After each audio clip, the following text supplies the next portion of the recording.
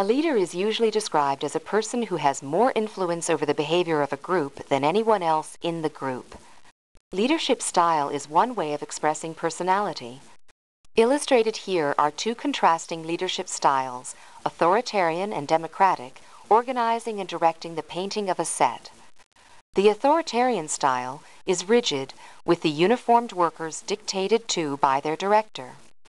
The democratic style retains such elements of individualism as dress, and the workers communicate freely with their director. A leader is judged as successful or unsuccessful in terms of his effectiveness in job completion.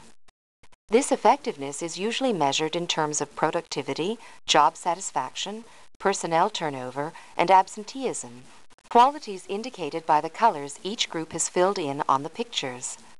The workers under authoritarian direction have painted the picture in the colors that correspond on the palette to high productivity, low job satisfaction, high labor turnover, and high absenteeism, while those under a democratic style of leadership have colored in those colors that represent low productivity, high job satisfaction, low labor turnover, and low absenteeism.